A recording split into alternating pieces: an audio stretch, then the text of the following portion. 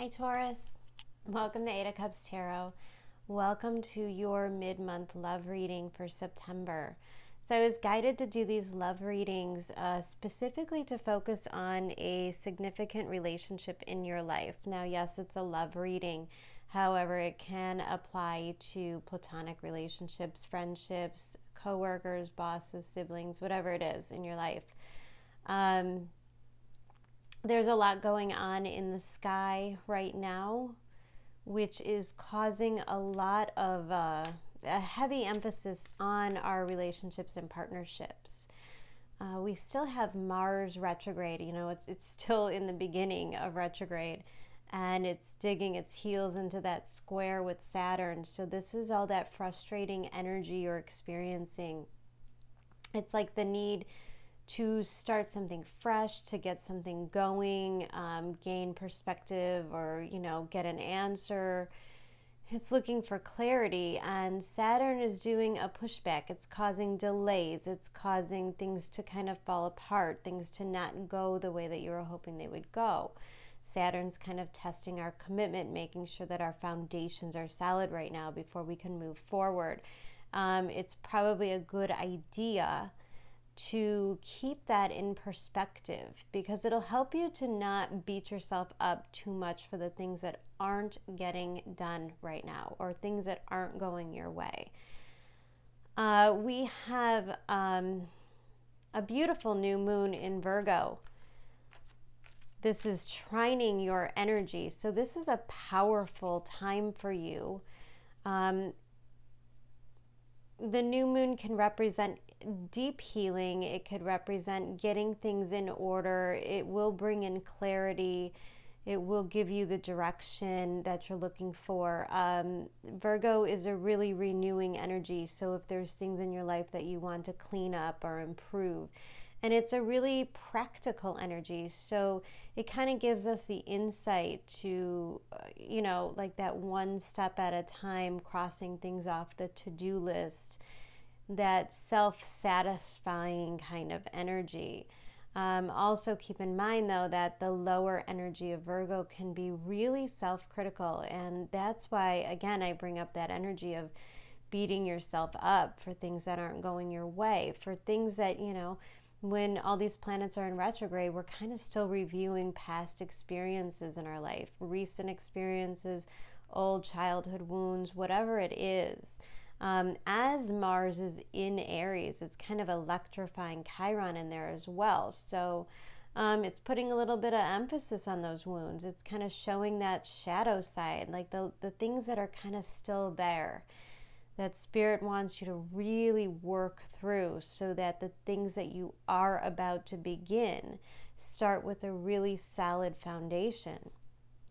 We have Venus in Leo, which is kind of this energy of our heart's desire. Things can be very emotional. We could feel, you know, be really inclined to go after the things that we want and the things that we love.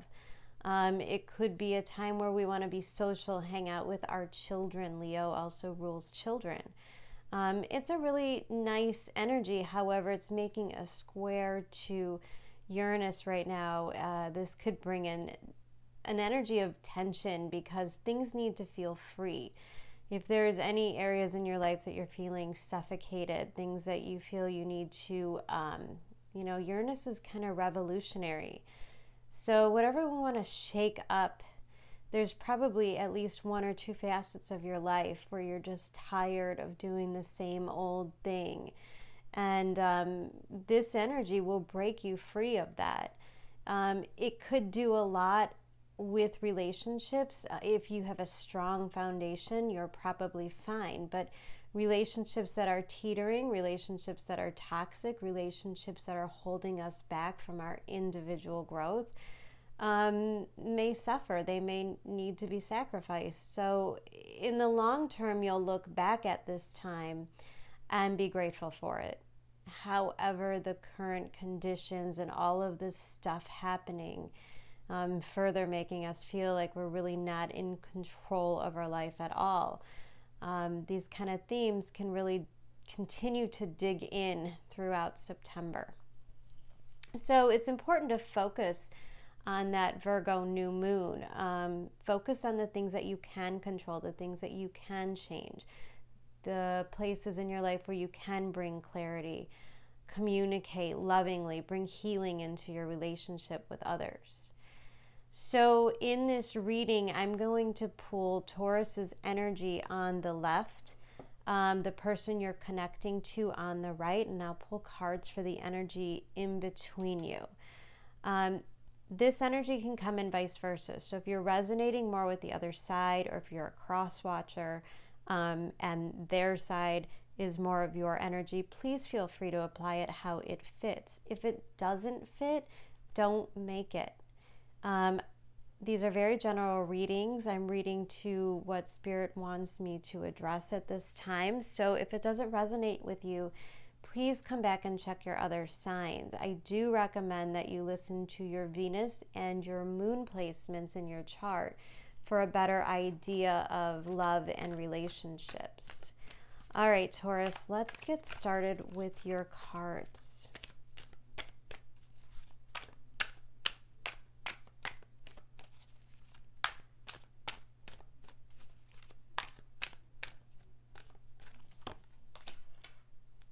Hierophant in reverse.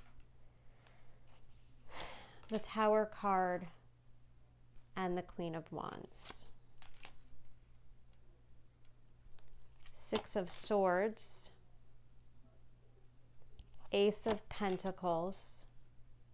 King of Pentacles. Nice. Two of Cups in reverse. Four of Pentacles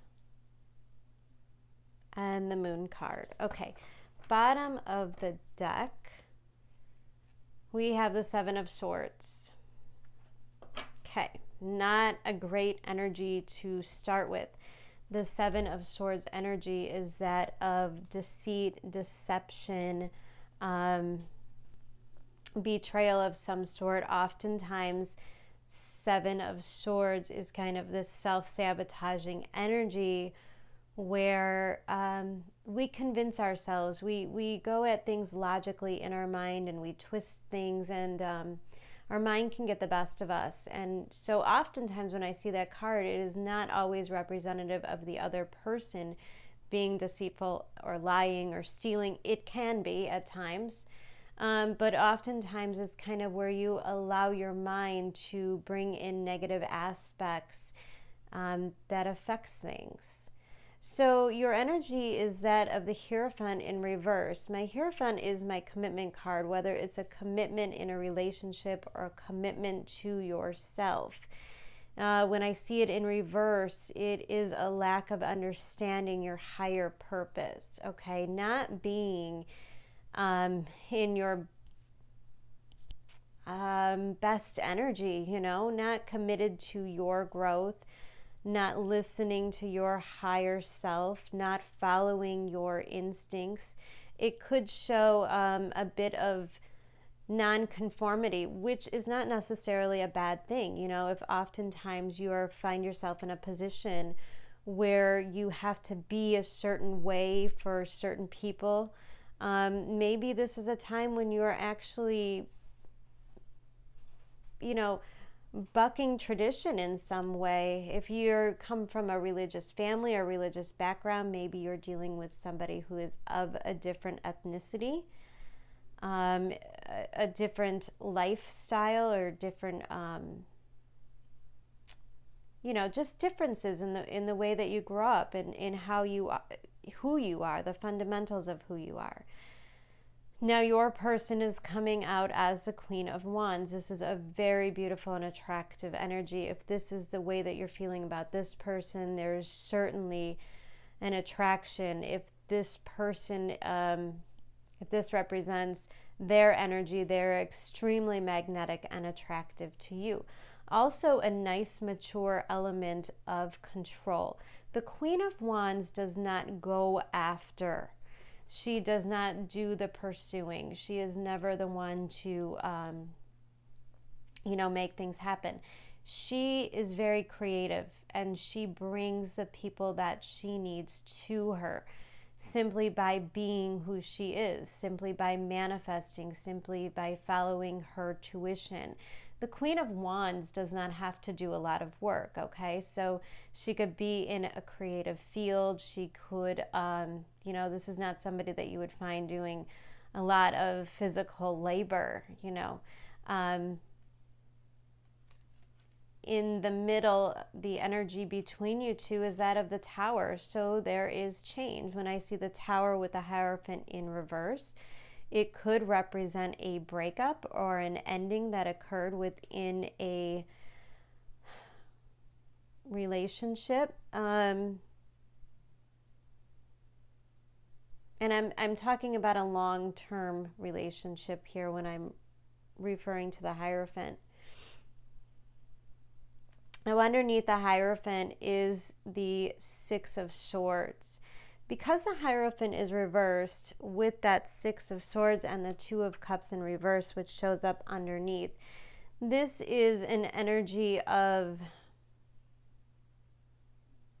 It, it could represent distance. Now, you could be at an emotional distance with this person.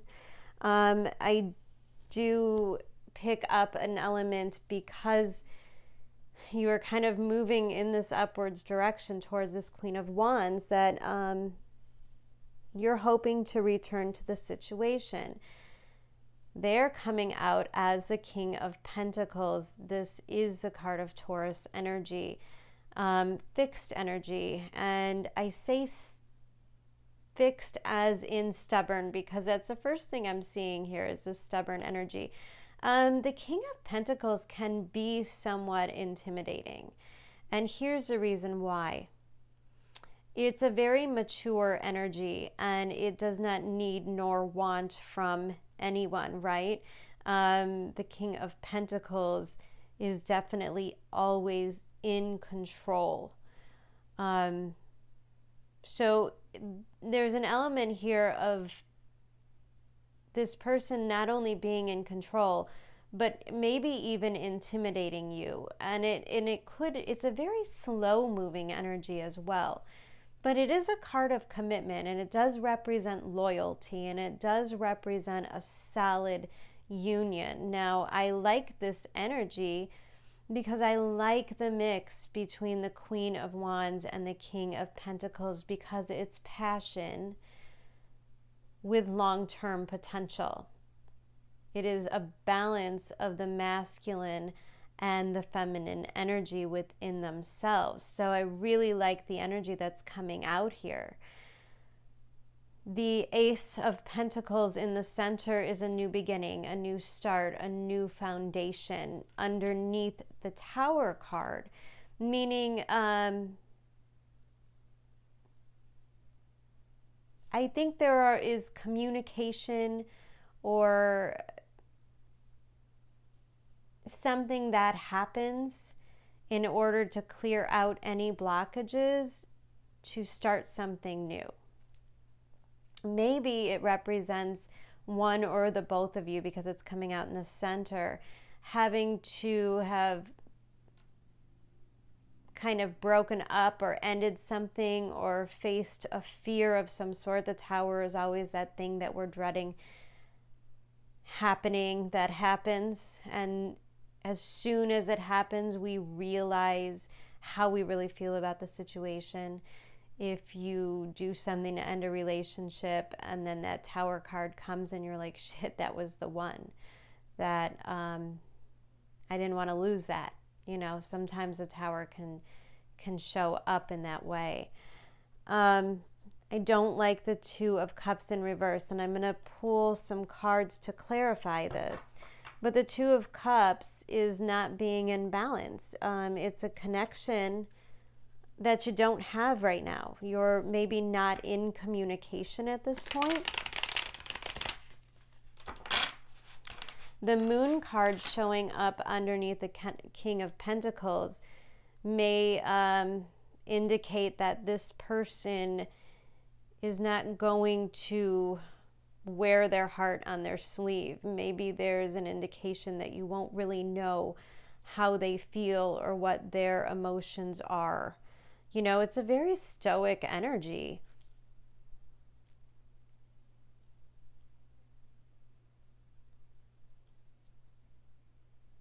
All right, let's pull some clarifiers on these cards to dig a little deeper. Oh, I'm sorry, I didn't go over this middle card here.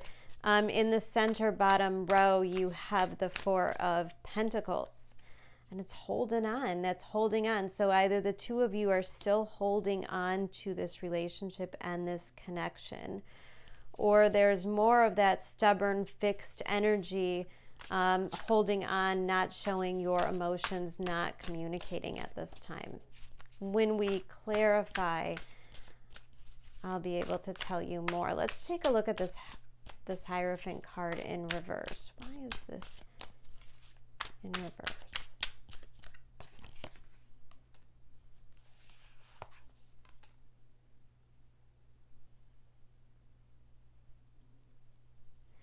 Okay, that is clarified by the Four of Swords and the Hanged Man. So there's an element of needing to rest or recover with this Hierophant card. Sometimes he can represent health matters, health issues.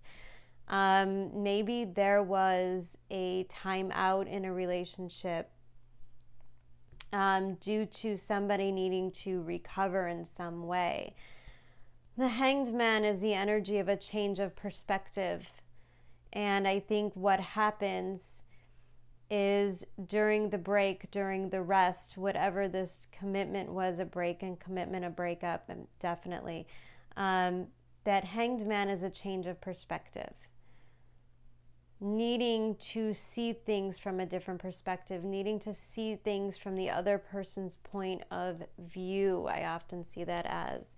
Could also represent inability to make a decision, eh, um, which can oftentimes when we're in an energy of stagnant, not willing to make a move, letting time pass, it could often feel like a rejection for the other person. Let's take a look at this Queen of Wands energy. Five of Cups and the Ace of Swords. Yeah, so the 5 of cups is an energy of regret. It's a it's it's a very sad emotional energy focusing on a loss. And the ace of swords represents new communications so maybe you are wanting to communicate with this queen of wands. And in doing so it may uncover re-trigger some hurts some wounds. It, i'm just getting a sense of it it may not be an easy conversation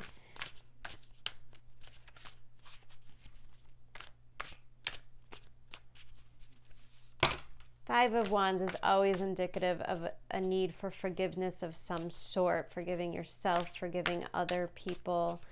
Um, my fives are always a little bit of drama, right? Um, people might overreact to things, take things a little too personally.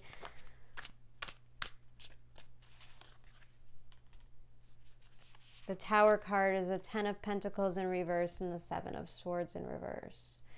Okay, so um, the Ten of Pentacles in reverse coming out on your side of the energy is that of loss, losing the one thing that you really wanted, the one thing that you really valued. Uh, Ten of Pentacles is kind of like the ultimate goal, the ultimate happiness, the ultimate foundation, that rock solid relationship. Um, and the Seven of Swords in reverse coming out on this person's energy is um, it's actually an energy of coming out of this deception, coming out of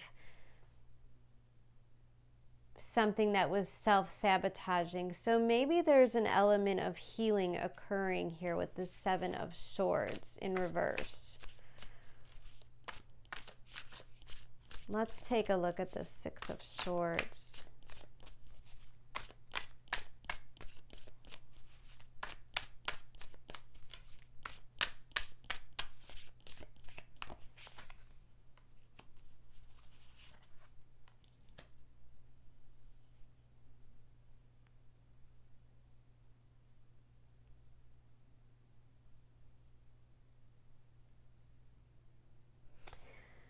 Yep. So, Six of Swords comes out next to the Six of Cups in reverse. Sixes are always divine cards, um, kind of.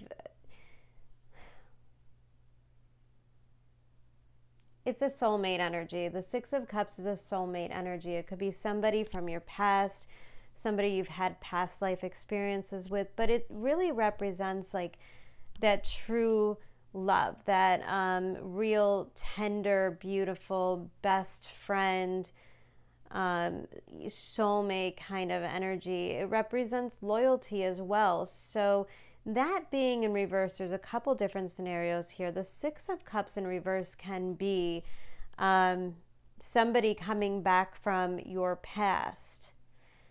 Maybe you like I said, you broke up with this person and now you want to reappear, reappear or come back. Ace of Pentacles make an offer um, to get back together, to reaffirm the commitment. Okay. Six of Cups also talks to me about loyalty. So maybe there's a sense, and this may not be for everybody, where um, you stepped out of a marriage or you ended a marriage or a relationship, a long term commitment, and you are moving to somebody else. Um, there's already some, and this came up for somebody else. It was like moving from one relationship directly into another. And it was kind of a heartbreaking situation because um, yeah, this definitely isn't for everybody though. But the Six of Cups in reverse is feeling the loss of the soulmate and wanting to come back. That's really what I'm picking up on. Let's take a look at this King of Pentacles energy.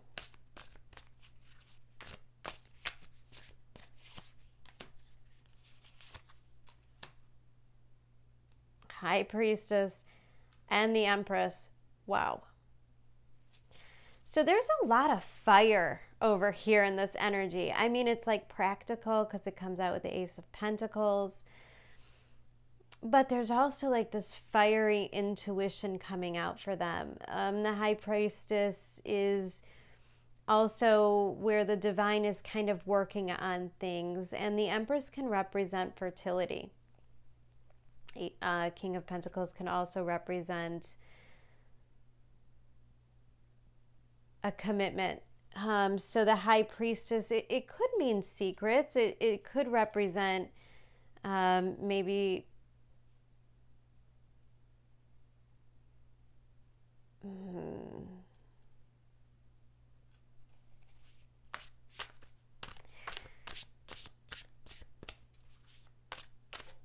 maybe you want to go back to this person and you find out that they are committed and even possibly pregnant with that empress. It could also represent their higher self knowing that this situation is what they want to commit to and have children with. You know, I mean, it, it could really go either way. Let's take a look and clarify the rest of the cards picking up on a couple storylines here. Now, you would know. I mean, you would know if that was you. If you reach out to this person and it turns out that they're getting married and having babies, um, yeah, that sucks. That sucks. And then the high priestess is there to just say that, you know, there's a higher purpose for it all. There's a higher reason. There's something bigger that's meant for you. And she always represents keeping the faith. And the Hierophant can represent not having faith. Let's take a look at this Ace of Pentacles. We have a Two of Wands, so, and the Two of Cups. See, I don't think so. I mean, maybe for like a couple of you, it's a storyline where you go back and this person's actually committed and having a child with somebody else. I really think it's a first case scenario that this person is very in tune. Um, the divine is working with them. Maybe they're having dreams or premonitions. Maybe there's even some conversations telepathically between you two. I know that sounds crazy, but it really does happen. Now, the Two of Wands is you wanting to go for this, but it could also represent waiting, okay? And the Ace of Pentacles, any pentacle energy is slow moving. but it's a promise. And their energy is that of a Two of Cups, right side up. So there is definitely deep love here. Um, absolutely deep love coming from this person. It's a really beautiful, kind of very feminine energy over here. So I like to see that a lot. Let's take a look. Why is the Two of Cups in reverse?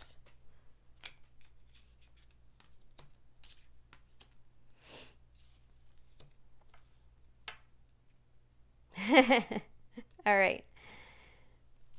You may be hesitating. That Two of Pentacles, you may be really hesitating. The Knight of Cups, Two of Cups in reverse, and the Two of Pentacles, you're hesitating making the offer for the reunion.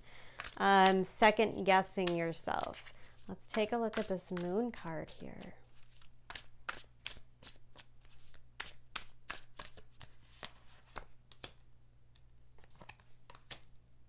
The sun and the star.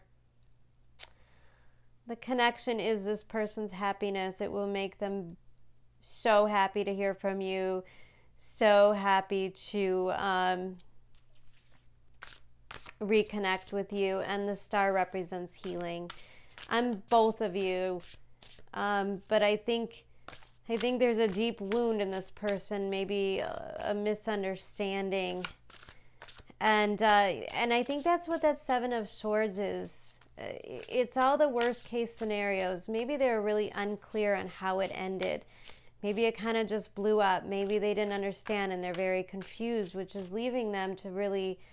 There's like a deep hurt there, and I think when you come back to the situation and talk about it, it could bring a lot of healing for this person as well.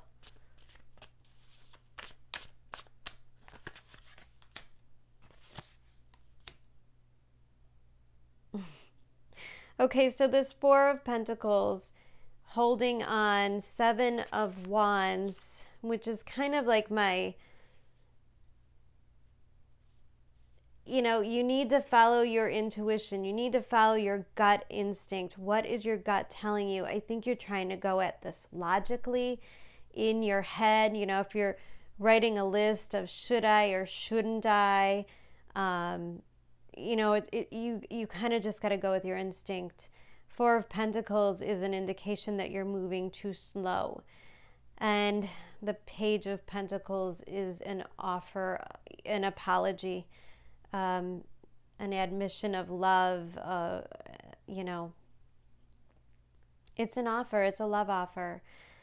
This Seven of Pentacles, I mean, the Seven of Swords, the overall energy Directly underneath that is the Emperor and the Four of Cups in reverse with the Knight of Swords. Just go for it. Just go for it. Don't hesitate. Contact this person.